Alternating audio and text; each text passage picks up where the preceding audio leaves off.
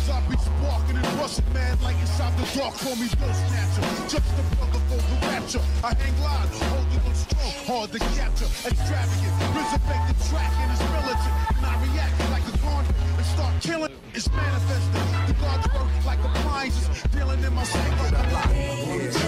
Before we go any further, just want to say today's video is going to be brought to you by Fandomion. If you want to buy some really awesome anime merch from My Hero Academia, Attack on Titan, and Haikyu, and so many other anime, I recommend using my link in the description box to check them out. And there's free worldwide shipping on orders over $39. You'll also get an additional 5% off using my promo code down below. For any of you guys who might be interested or on the fence, I highly recommend checking out the website. Pay attention to the size chart. That'll be the biggest thing I would tell you guys. But with that being said, though, let's jump back into today's video. Yo, what's going on, everybody? It's your boy Naruto Explain here, and today I wanted to give you guys a follow-up to the events of Boruto Chapter 70 and look at something that is a major elephant in the room now that Code has gotten his limiters removed and ascended beyond Jigen's power level. Amado, our favorite mad scientist who was able to take living humans and turn them into beings strong enough to fight against Naruto and Sasuke, and in the case of Code, surpass the power of an Otsutsuki vessel. Amado, for as big brain as he appears to be, it looks like he's made a major miscalculation, which means that somebody can look at a Amado and say, look fam, you ain't as smart as you think.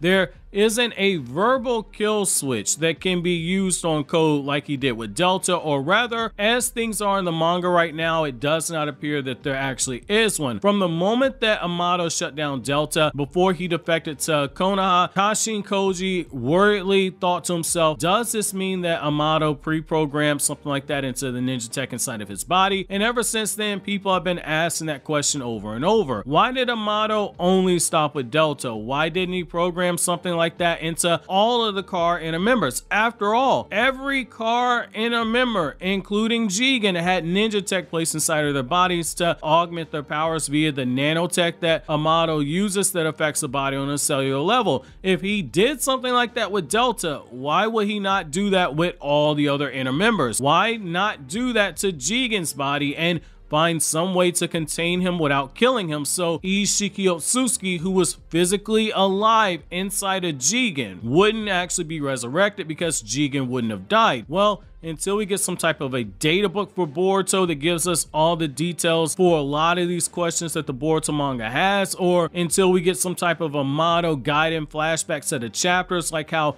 Naruto's manga did for Kakashi, explaining how Kakashi got the Sharingan for the first time, we're not going to have a full answer just yet. However, based upon what we do know, we can draw on a few conclusions here. If Amado would have already had something like that programmed in the code, he could have issued a verbal command the moment the code tried to attack him in his lab when Shikamaru was there. However, he didn't do such a thing. If one such command truly existed, Ada would have told him as much because Ada already knew the specifics on how to get codes limiters removed by Amado. The only way she doesn't reveal that information is if she's secretly been in cohorts with Amado the entire time, which doesn't appear to be the case one bit at all because she directly stated that she wanted to kill Amado for altering her body to a point where she can't experience true love relationships because her power is on 24 7 and as Amado said even Ada can't actually control her powers when it comes to capturing the hearts of everyone who's around her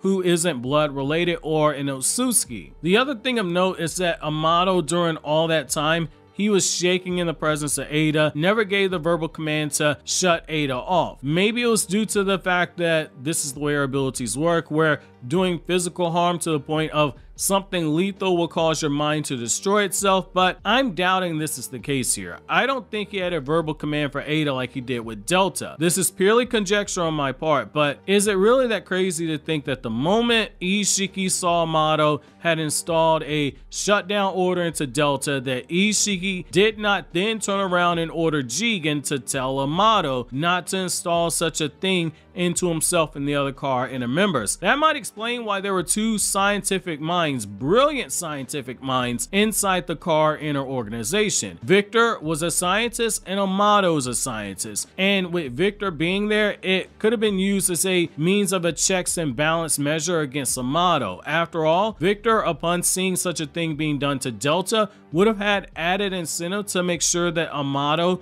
didn't do such a thing to him. And he would have happily complied with the order that Isshiki gave to Jigen. That would also explain why Amado had to go sneaky, underhanded ways of framing Victor for the blimp crash that will release Kawaki out into the wild and why he would use the opportunity of the chaos that ensued afterwards in order to start doing maintenance on the ninja tech inside the Kara and members' bodies, work that Delta said was affecting her combat abilities because Delta noticed there was something wrong with her body. However, that brings us to the same point. Why didn't he program a shutdown code in the code if that would have been the case? It's a question we won't fully know the answer to again until we get some type of Boruto data book, but it's surely going to be something that Amado knocks himself for if Code doesn't end up killing him off because that sequence could have saved his life. However, we have to ask ourselves this question as well. Why was Amado so focused on only giving that shutdown code to Delta? What was so special about Delta? Delta of all people, why was she so special to him? That's going to depend on which side of the fence you fall on, on who is Amado's daughter that he said died 12 years ago. Some say Delta and some say Ada. If it's Delta, it would make sense because the shutdown sequence was a go to sleep command, something akin to what a parent would say to their child. It's not the craziest connection to draw, and it would explain why Delta was so different. Her consciousness is uploaded to the drone, and she's the only inner member that had that specific modification made to her body. Uploading your consciousness to something like that would imply that the original person was dead, or they were looking to preserve their consciousness, and the consciousness, in a way, is their soul, which explains why Delta has three different bodies, which as I've said a few times in older videos,